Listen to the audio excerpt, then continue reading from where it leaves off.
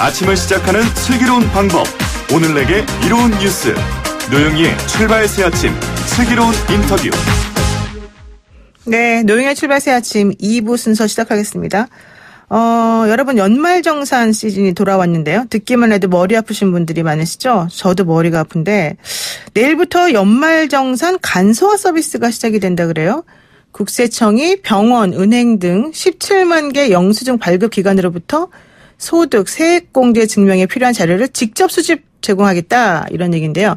김선택 한국 납세자 연맹 회장 연결해서 아는 만큼 돌려받는 연말정산 꿀팁에 대해서 한번 어, 알아보겠습니다. 회장님 안녕하세요. 네, 안녕하십니까. 네, 사실 연말 정산 이렇게 되면은 뭔가 이중적 감정이 막 솟구칩니다. 저는 솔직히 말해서. 그런데 연말 정산이 당연히 간소화된다 이런 얘기가 있고요. 내일부터는 이 서비스가 좀 달라진다는 건데 뭐가 달라진다는 거죠? 아, 매년, 어, 국세청에서는 그 1월 15일 날 연말정산 간소화 시스템에서 이제 모든 영수증이 연말정산 공지되는 네. 영- 영수증이 나옵니다. 뭐 달라지기보다는 근로소득자들은 그 시스템에서 자동으로 출력되지 않는 것을 직접 챙겼어야 됩니다. 네. 대표적인 게 이제 장애인 증명서 병원에서 발급받아야 되고 보청기라든지 그 어, 휠체어 등 어, 장애인 보장구라 그랬죠. 네. 안경 그리고 구입비라든지 콘텐츠 어, 렌즈 구입비, 음. 중고등학생 교육 교복 구입한 거 네. 그리고 기부금 영수증도 일부 안 나올 수 있습니다. 그리고 월세 공제 어, 받는 수라든지 외국에서 또 학교를 다니면 외국 어, 학비 영수증 그리고 무엇보다도 만 19세가 된 자녀 같은 경우에는 네. 어, 개인정보 그러니까 정보 활용 동의를 연말정산 그 간소화 시스템에서 해줘야만이 자녀가 쓴 어록이라든지 이런 부분이 나옵니다. 아. 시골에 계신 시골에 계신 부모님도 마찬가지입니다. 그래서 거기서 어, 자동으로 나오는 것이 아니고 네. 성인, 성인이 된 사람들은 개인이 어, 정보 활용 동의를 인터넷을 통해서 해줘야만이 어, 영수증이 자동으로 나옵니다. 아.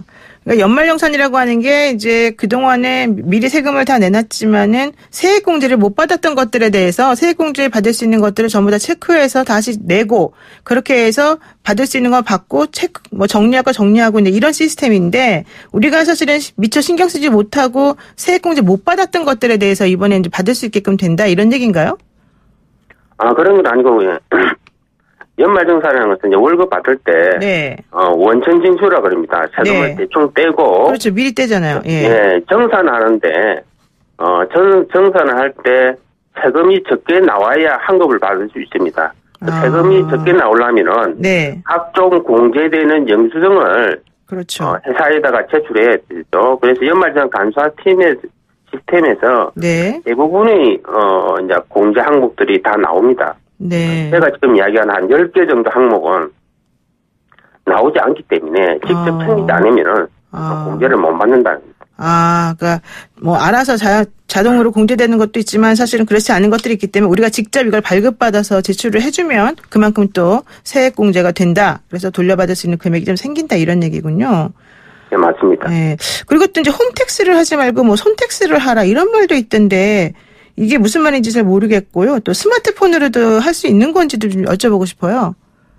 어, 스마트폰으로도 확인이 가능합니다. 근데 연말 정산하는 시스템은 회사마다 조금 틀립니다. 그래서 어, 보통의 경우에는 그 연말정산 간소화 시스템이 있는 서류를 출력받아서 회사로 이제 제출하면 되고 네. 그리고 이제 펠- 편리한 연, 연말정산이라 가지고 어, 직접 이제 근로소득자가 직접 그 홈택스에서 연말정산을 자기가 직접 해서 회사로 이제 이렇게 정보를 어, 송부하는 어, 그런 방식도 있습니다. 어, 어. 그걸 이야기하는 것 같습니다. 그러니까 홈택스나 뭐 이런 쪽에 일단 접속을 해서 로그인을 하고 접속을 하고 어 거기서 이제 체크되는 여러 가지 것들을 꼼꼼히 다 챙겨가지고 어 미리 어, 내 세금을 띄었던 회사나 이런 쪽에다가 공제를 할 수 있게끔 보내주면 된다 이런 얘기네요. 예, 그렇습니다. 그는 회사마다 네. 어떤 방식으로 하는지는 회사에서 공지를 해줍니다.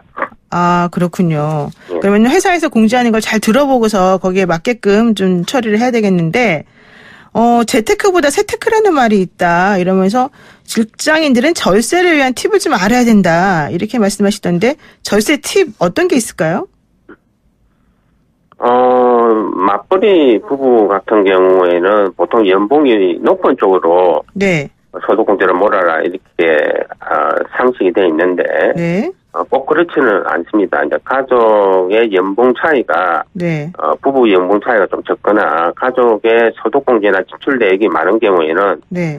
소득공제를 이제 적절히 나누어서 부부 양쪽의 결정색을 낮춰야 어, 하- 부부 어, 가족 전체 이제 환급이 어, 더 많아집니다. 아. 그리고 또 무엇보다도 어, 가장 큰 재테크는 어, 자기가 에, 공제되는 항목을 꼼꼼히 챙기는 것이 중요합니다. 세법은 굉장히 복잡하기 때문에 그러니까요. 어, 자기가 다 알고 있다고 생각하지만은 사실상은 모르는 것이 굉장히 많습니다.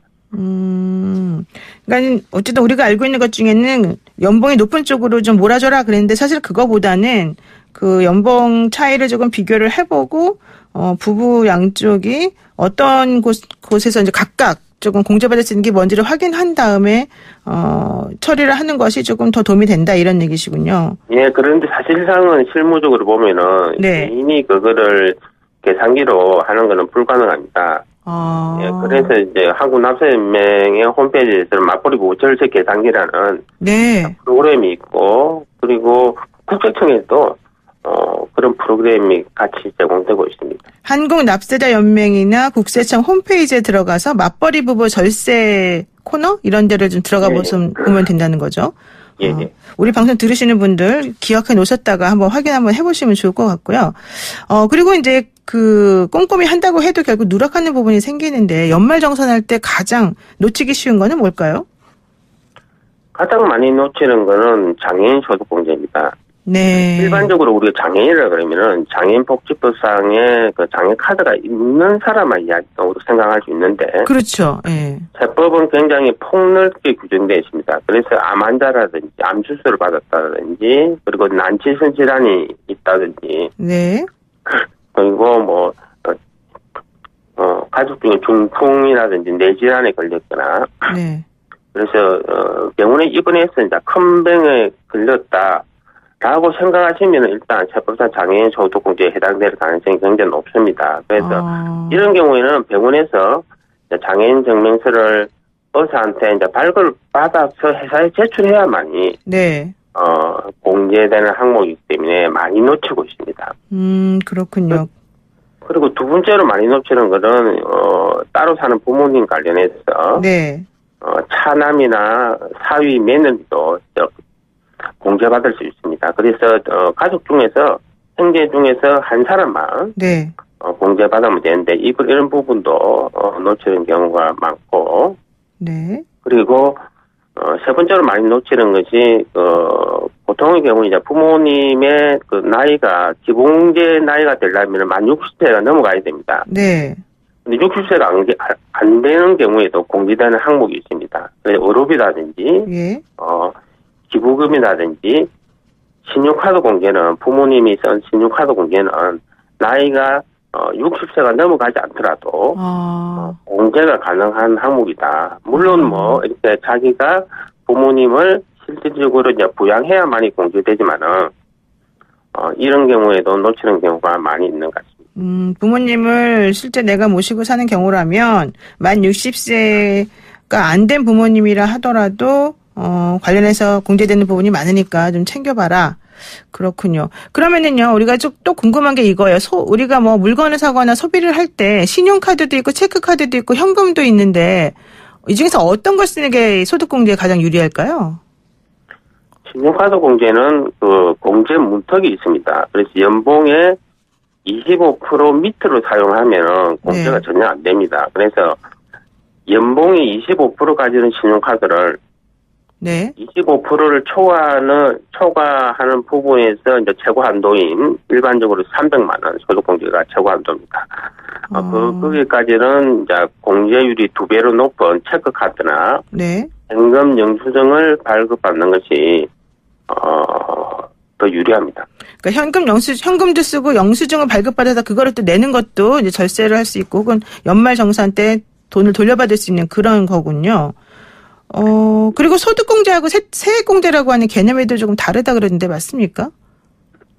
어, 세액 공개는 좀 쉽, 습니다 예를 들면 자기가 나오는 이제 세금에서 월업이 세액 공제가 15%다 그런 거는 네. 어, 15% 월업이 지출액의 15%를 그냥 세금을 돌려준다는 의미입니다.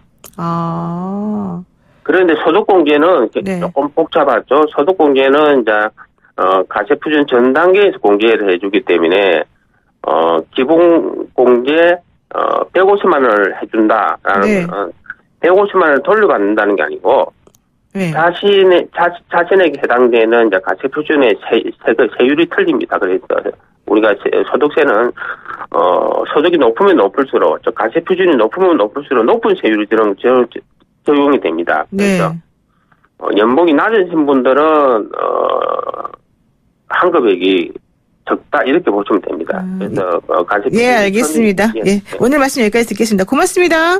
예, 감사합니다. 네, 지금까지 한국 납세자 연맹의 김선택 회장이었습니다.